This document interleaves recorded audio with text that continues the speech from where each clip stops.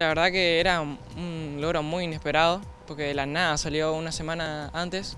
Mi entrenador me contó que tenía posibilidad de entrar, pero hoy justo se dio y aparecí en la lista.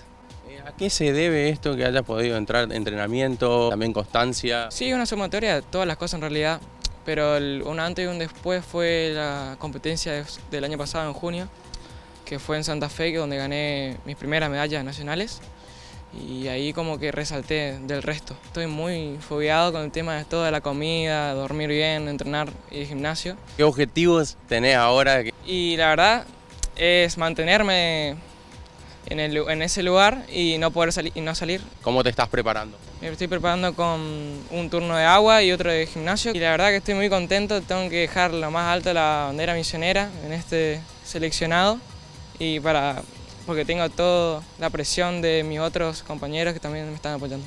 Y bueno, también representar a la Argentina es muy lindo. Sí, es muy lindo.